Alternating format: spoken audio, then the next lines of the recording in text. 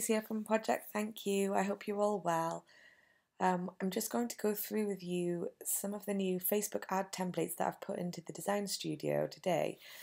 Um, as you can see, if you go into the social media section you and click on the Facebook ads, you'll now see that there's a tab for Facebook ads with 20% text layouts in there. So these are because of the Facebook guidelines for when you are advertising that you're allowed no more than 20% of text on each advert.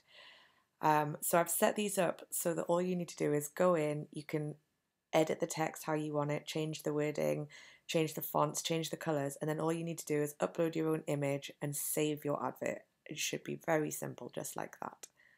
Okay, so if we go down here, here are just some of the templates that I've done. You can see that I've left them pretty blank so that you can upload your own images. I've just done the, the text layout there for you, so I've made it look good. So all you need to do is change the wording and tweak it slightly and you should be good to go.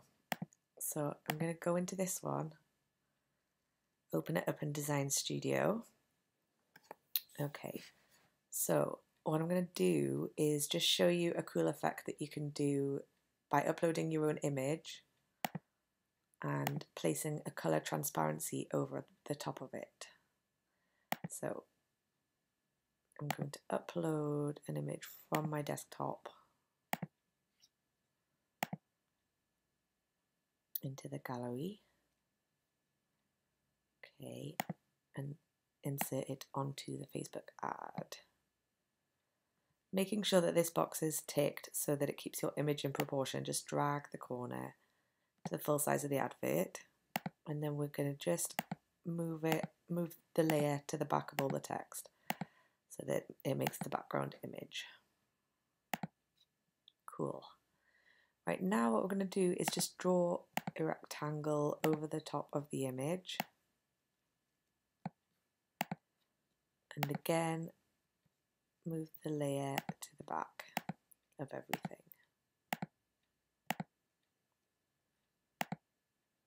Just by clicking the arrow on the side in the layers panel here.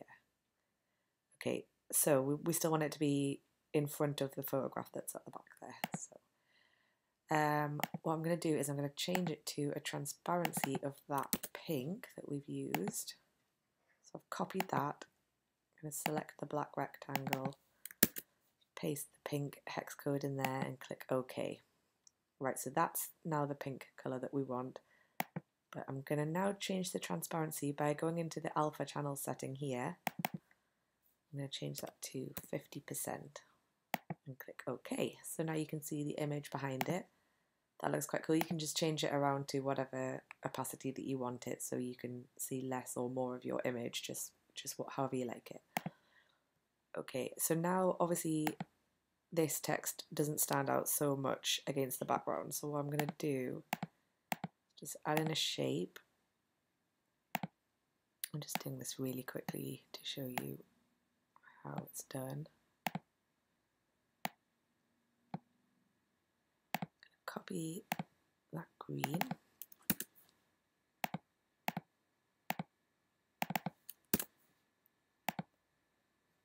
Move it to the back of that text. Make the text white that now makes it stand out much more. Make the text bold as well. Just make sure that that box is ticked to keep your text in proportion if you're going to change the sizes at all. And then you can just drag the corner to change the size there like that. Oops. Okay, cool. So if you wanted to add anything else to the image, um, you can just go into the arts section. Just going to add a couple of little elements here. Triangle, some of that down.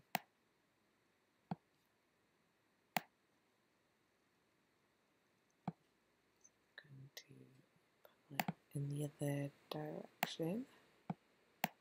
Make a corner there. just playing around really to see what looks good. I'll change the colour just to fit in with my colour scheme that's going on. Obviously you would just suit change the colours to suit your branding. Um, I'm also going to just add a little arrow in that top right hand corner. It's looking a bit bare.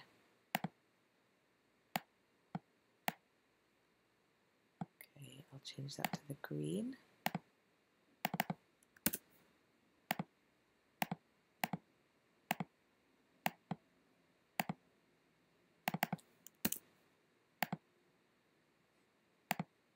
Let's make it a bit bigger and turn it in like that.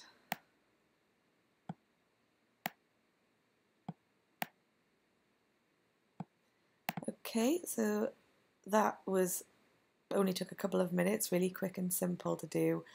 Um, obviously, you can change the text if you want to, play around with the fonts, play around with the colours. Then at the end, before you download your Facebook ad, I would just recommend adding the Facebook grid text checker to your advert. It's in the art section there. Just drag it to the full size of your ad image and just double check that the text on your advert takes up no more than five of these boxes. Okay, so we've got one, two, three, four, five. That means it's within the 20% rule on the Facebook advertising guidelines and your advert should get approved, no problem. Okay, hope that helped. Thanks very much. I'll be back soon with more tutorial videos. Have a great day. Thank you. Bye.